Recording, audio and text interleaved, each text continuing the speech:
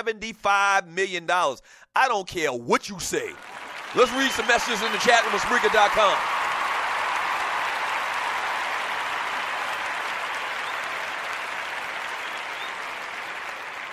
Now, I'm hoping, one last note, I'm hoping that some type of deal can be cut and some type of trade with the Indiana Pacers with the Los Angeles Lakers for Paul George. Man, what you talking about? We get Lonzo Ball, we get Paul George. We are what they call cooking with Crisco. We back. You're new to the show, I'm a Laker fan. Lakers can somehow get Paul George, which he wants to play for the Lakers. He's from California. He's from Southern California. If somehow the Lakers can pull in and get Paul George, man, and Le- uh, Lonzo Ball, not LeVar, not his daddy. We don't want his daddy to play for the Lakers. We want the son. We get Lonzo Ball, Paul George. and put Russell at the two. Uh, at the three, we can put Randle.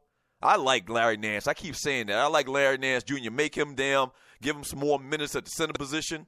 Hell, I just talked about how Al Horford and all of these power forwards in this this day and time of basketball are playing the center position. Put Larry Nance Jr. at center. Have Mozgov coming off the bench. We cook it with Crisco, Jack. We cook it with Crisco. yeah. From one chance in the chat room on Spreaker.com, he says Jason Whitlock doing all this cooning on on the day Sheriff Coon David Clarke gets the job in Donald Trump's administration. Well, there's a reason why Donald Trump should be nominated for ball peanuts, giving that dude David Clarke a job in his administration. Um, from Barbershop Sports Talk podcast, he says one chance, just shotting out, I guess. Redland Kirk, Redland them boys Kirk. You got a Dallas Cowboy profile pic in the chat room on Spreaker.com. Now this trick, Kristine Leahy is saying LeVar Ball should be banned from TV interviews. There's a wanted poster of Jason Whitlock in the Ninjaville post office. right. That's funny. That's hilarious. And if you're new to the Doug Stewart Show, the show takes place in a mythical place called Ninjaville.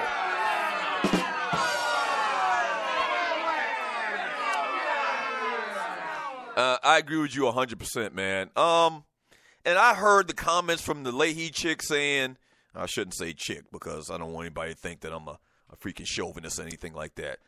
I heard the comments from the Kristine Leahy uh, young lady where she said that LeVar Ball should be banned from TV. But here's the thing about this. I talked about this a couple of days ago. I talked about this a couple of days ago. You're basically uh, in a catch 22 situation. As much as people have hate and disdain for LeVar Ball, he's the ultimate clickbait. Okay? And yeah, these TV stations could be high and mighty, and I'm sure the host and the producers and everything getting a lot of flack from people saying, why do y'all continue to put a microphone in front of LeVar Ball's face? Yesterday's show title was Mike in My Face uh, because of this same conversation. And I'm sure that they get a lot of heat from the general public, from sports fans all over. Why do y'all continue to interview LeVar Ball? You know why? Because y'all, the same people that hate LeVar Ball, continue to click on the damn stories. So you can't have it both ways. You can't have it both ways. You can't have it both ways. You hate him. LeVar Ball is literally like Easy E, the ninja you love to hate.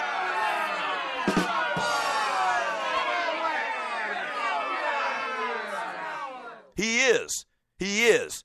So you can get off your darn pedestal and this holier than thou or whatever because dude came at you, you know, uh, because you came at him first initially, you know, egging this whole thing on, in my opinion, because he came at you. Now you don't want any network, you don't want any news entity to to to, to do an interview with LeVar Ball because you got your feelings hurt. yeah. From Andre Elam, he says, cool sell. Westlake won 35 28, a decent game for WHS. Westlake is trying to find their starting quarterback. Cedar Grove running back number 27 was nice, and your boy wide receiver Hasselback is the real deal. He made several next level catches one in the end zone while being blanketed. So Andre Elam's talking about Westlake and Cedar Grove High School here in Metro Atlanta, uh, who had their spring game against each other, which I mentioned yesterday. Man, I, I don't remember I don't remember ever high school or college us scrimmaging another team. That would have been cool as hell. uh, but it was always like an inter squad scrimmage. From ducking and dodging, Cleveland was coasting during the regular season. They're playing hard now, which is which is very troubling. Um, you really or you rarely see a team able to flip a switch like like Cleveland's seemingly done in these playoffs this year. But they have done it. They have definitely done it. From Corey, Trey, he is just starting out with his brand, and you choose to say it's not geared towards women. How can you target every group when you are just starting out? It was a loaded thing. It was a loaded point that she made in saying that, you know, it was loaded. It was a loaded question, point, or whatever you want to call it, and saying that he didn't want to market to women. Who said he didn't want to market to women? All right. Now, he answered her question, and I think the way that he answered the question about that, or the point that she made about that, was, you know, right now we're focused on other things. We got other things to focus on. We're trying to sell these damn sneakers. And so that question was definitely loaded from the Leahy young lady towards LeVar Ball. From Andre Elam, Trey, I agree with you, and he definitely ain't targeting white folks, period. Let's keep it real. If you're talking about the uh, the Zo 2s, eh, I think he's targeting people that got $500. I don't care if they're, probably, if they're white, black, green, orange, or yellow. I think the people he's targeting uh, with the Zo 2s, LeVar Ball and, and Lonzo Ball are targeted, are people that have $500 to spend on sneakers. The same people that buy the Yeezys, Kanye West sneakers, the same people that have money to buy red bottoms if you're a lady, that's the people that they're targeting. Simple as that. They aren't targeting kids, they aren't targeting white folks, they aren't really necessarily even targeting basketball players.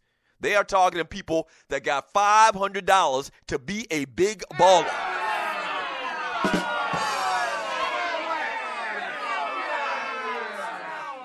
Yeah, yeah.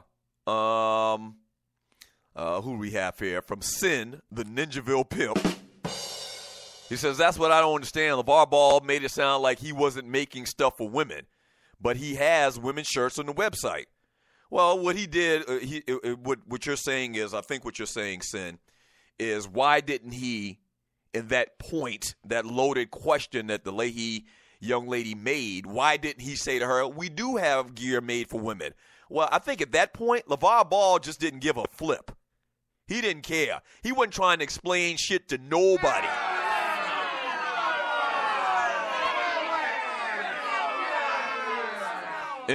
and you're listening to the Doug Stewart Show. Uh, one of LeVar Ball's strong suits isn't tact. Okay, it wasn't tact. So he felt like that she was coming at him aggressively, and he went back at her aggressively. And I think in his mind, he could have said, "Yeah, well, that's what you know. We actually sell women's T-shirts online on on our website." But he didn't even want to go there. He didn't even want to waste the time. you, you see what I'm saying? He didn't even want to give her the dign uh, or to dignify uh, that question slash loaded comment with a response, with a real response. He didn't even want to respond. He was like, I'm not even talking to her. He had his back turned to her. He wouldn't even look at her. It was very, very strange. It was very, very cool to me. I like that type of stuff.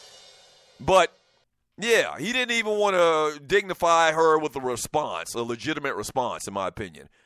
From Miss J Twice. Hey, Miss J Twice and you're listening to the Doug Stewart Show. Jason Whitlock, I meant Coonlock, fat bastard, want to be white so bad.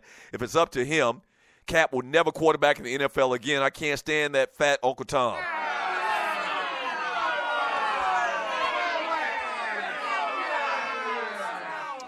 Oh man, and I don't know if you're new to the show, Miss J twice, but me and my brother and Whitlock go way back. We noticed his coonish behavior a long, long time ago.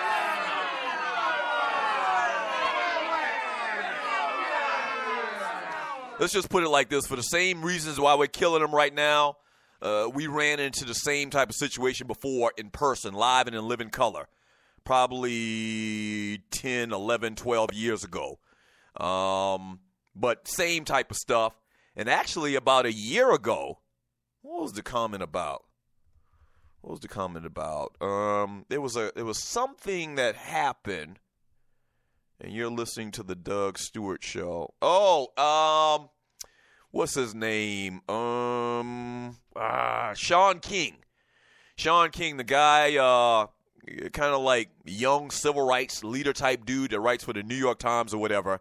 Uh, when he came out with a story on something, um, I commented on it, and Jason Whitlock you know, like a freaking ghost popped up on my social media uh, timeline and basically saying that I was wrong and giving credence to whatever Shaun King said. I'm trying to give you the, the, the, the, the backstory, the short backstory to it in the nutshell.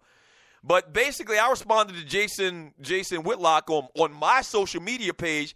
Dude, you're the biggest coon in the history of the world. Why are you commenting on my social media page?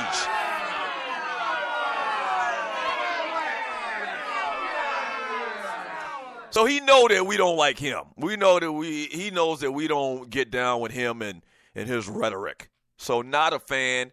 And usually that type of thing, man, I, I really don't really go at guys like that. But him, he's so over the top with the coonish behavior, man, that it's just obvious. And if you heard how he went on this tirade and this rant trying to defend this Leahy young lady, man, it was crazy.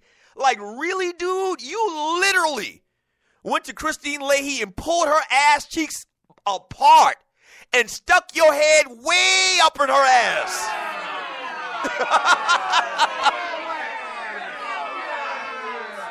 like, you gotta see this. You gotta see this. He literally pulled her ass cheeks apart and, like, stepped way in her anus and walked around past her, her, her spleen and her kidneys and her esophagus and all her parts.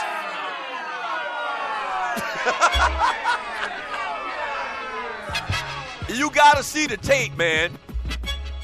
You got to see the tape. It was like he was teasing his show that was coming up, and he's got a show called I don't know. I don't pay attention to them cats like that, to be honest with you. But he's got a show and he was on Colin Cowherd's show, teasing his show that was coming up next, I guess. And he was talking about how he was going to get into Charlemagne's ass. You know, he was going to defend Kristine Leahy's honor. And how dare he? And Charlemagne's got it all wrong. And Kristine Leahy's this great person. And LeVar Ball is wrong, wrong, wrong, wrong, wrong. And how dare LeVar Ball raise his voice to Kristine Leahy, this beautiful white woman.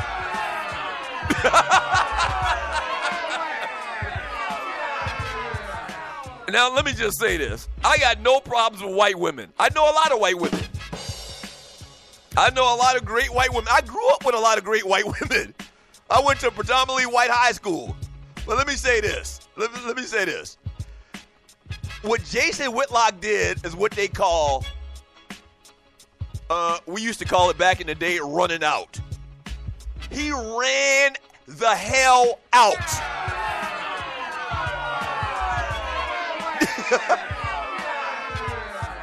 he ran the hell out with his defense of Miss Leahy. But in typical Jason Whitlock fashion, that's what he does. Back in three minutes, the Doug Stewart Show.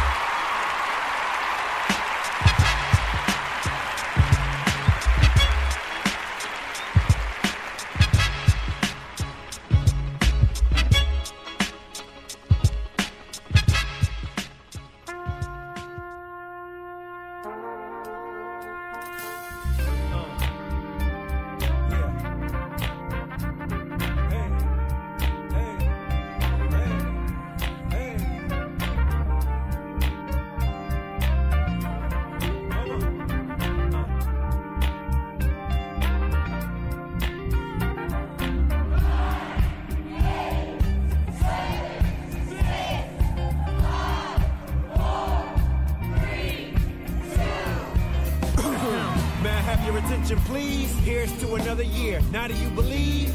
Lost some friends and some family we love. Don't let it get you down tonight, but then we raise it up. Hands in the air like you're trying to touch the ceiling. Champagne for everyone. Tonight we got the feeling. Made it through the holidays. Now we back to hustling. Family versus finance. Getting tired of juggling. Ain't better than nobody. I just went and climbed the ladder. So hi, buddies, haters. It just sound like chitter chatter. Staring at the calendar. Tired of being amateur. Looking in the mirror, time to